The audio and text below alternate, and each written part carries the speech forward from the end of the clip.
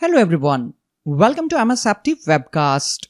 In this video, we are going to see the steps on how to enable and configure sign-in risk policy for MFA in Azure Active Directory. But first, let's understand what is sign-in risk. Sign-in risk represents that a given authentication request is not authorized by the identity owner. This risk is detected when users authenticate from anonymous IP addresses, geographically distant locations, malware link IP addresses, or from suspicious web browsers. Most users have a normal behavior that can be tracked. When they fall outside of this norm, it could be risky to allow them to successfully sign in. Instead, you may want to block that user or ask them to perform a multi-factor authentication. If the user successfully completes the MFA challenge, you can consider it as a valid sign-in attempt and grant access to the application or service. By enabling this policy, users will be prompted for MFA every time a suspicious login takes place. Keep in mind that this feature requires an Azure Active Directory Premium P2 license. If you are going to apply this policy in your organization, then first start with a selected group of users and check the result. If everything is going according to the plan, then later you can apply it at organization level. This is known as a stage rollout.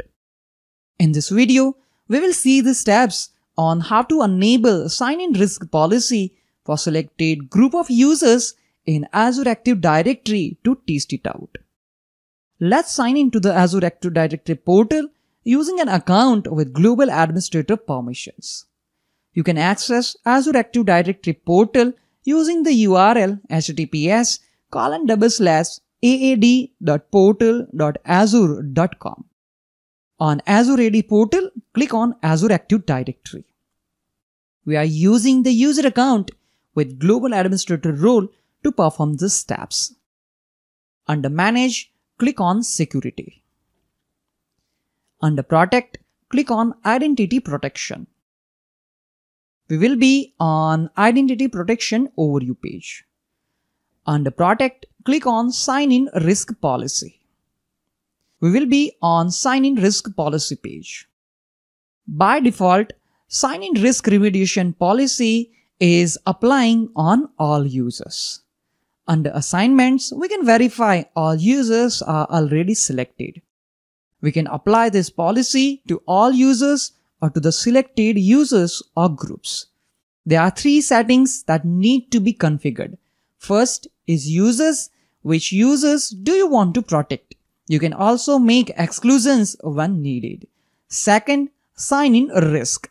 At what sign in risk level you want your policy to kick in. Low and above, medium and above or high. And third is access. What is the action to be taken? You can block access or prompt for MFA. By default, as I have mentioned that the policy is currently applying on all users. So let's click on all users Choose the radio button, select individuals and groups. From the list, search for test group 1. Select test group 1. For testing purpose, we just want to apply this policy on users who are member of the group named test group 1. Click on select. Verify test group 1 is selected. Next, choose the sign in risk level click on sign in risk level. We will choose medium and above level to enforce the policy. So select the radio button in front of medium and above and click on done. Then in the last step, we want to allow access but only if user completes the MFA. Let's click on block access to define the control access. As you can see, by default, block access is selected. As I mentioned that we want to allow access but only if user completes the MFA. So I'm going to select the radio button, allow access and make sure the option require multi-factor authentication is also checked. Click on done. To enforce the policy, toggle the value to on and then select save. We can see the confirmation message successfully save the Azure AD sign-in risk policy. So we have configured the policy for test group 1.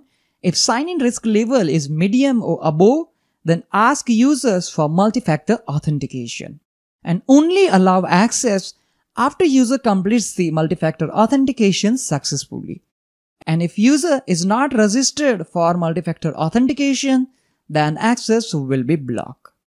If you ever want to disable the policy, you just need to toggle the value to off under enforce policy and click on save to save the changes.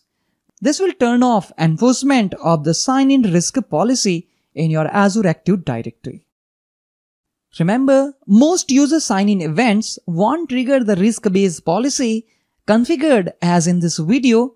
A user may never see a prompt for additional multi-factor authentication verification if their credential remains secure and their behavior consistent, their sign-in event would be successful. To test the Azure Active Directory identity protection policies created in this video, you need a way to simulate risky behavior or potential attacks. And at this moment, it is not possible to demonstrate in this video. And that's why I'm just showing you the steps to configure the policies. So that's all for this video. In this video, we have seen the steps to enable and configure the sign-in risk policy in Azure Active Directory using Azure Active Directory Admin Center. Thank you all for watching this video. Have a nice day.